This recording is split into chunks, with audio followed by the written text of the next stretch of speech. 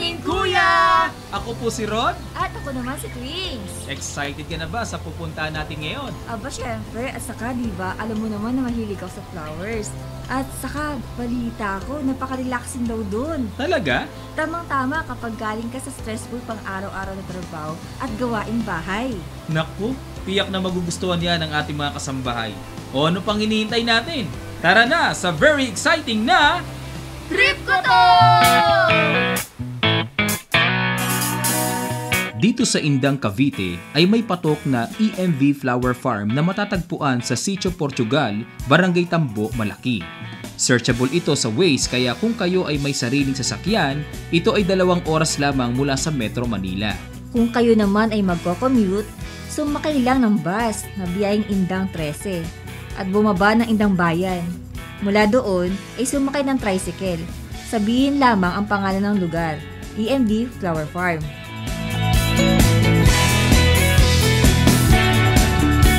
Nandito na tayo ngayon sa EMB Flower Farm. Grabe, napakaganda ng tanawin. At kung mapapansin mo, kahit saan ka lumugar, oh, pwedeng pwedeng magpa-picture. At, teka muna, alam mo na ba ang halaga ng entrance fee nila dito? Magkano nga ba? Sa halagang 80 pesos, pwede ka nang maglibot-libot dito sa buong farm. Talaga ba? 80 lang? Oo. Sulit na sulit. Pinagmamalaki din nila ang kanilang EMV Villa na nag-o-offer ng mga accommodations para sa iba't ibang okasyon katulad ng wedding receptions, birthday parties, photoshoots at staycation. Kung ikaw ay nature lover, talaga namang bagay na bagay ito sa'yo.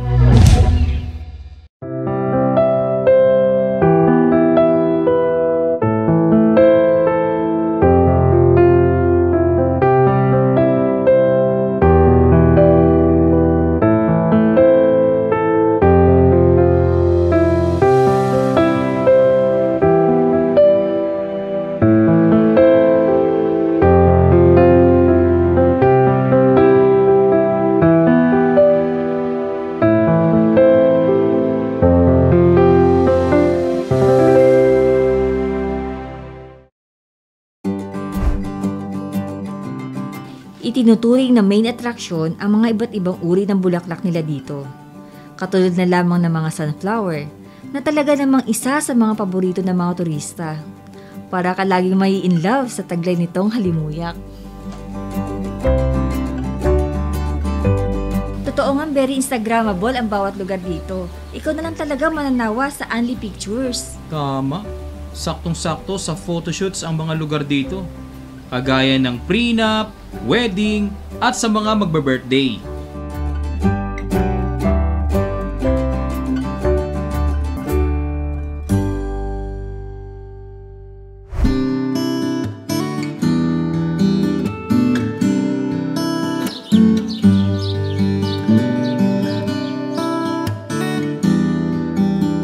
So dito po sa ating farm, ah, in-offer po kasi namin dito ay ang mga flower viewing, ah, staycation, also pwede po silang kumain sa aming ah, cafe, and in-offer po namin ang ah, day tour photoshoot po. Prenup, weddings, debut. Ah, sa staycation naman po natin, ang price po natin kapag ka weekdays is 6,900. Ini-invite po namin ang aming mga kababayan na bumisita po dito po sa EMV Flower Farm. Ito pong aming ah, family-owned business ay ah, sinimulan ko noong ah, 2013. Sa pagtatayo namin, gusto naming ma-experience ng mga tao. Ano ba yung ginagawa sa loob ng farm? Magkaroon sila ng ah, on-hand ah, experience sa paano ba nagtatanim ng bulaklak. So they can explore the farm. Enjoy all the amenities na meron po kami dito, simpleng amenities. I am um, inviting you all na sana po, kung gusto nyo ng isang peaceful place, mag-relax, consider EMB as your place uh, to, to visit. And uh, we are promising you na mag enjoy kayo sa, sa loob po ng farm.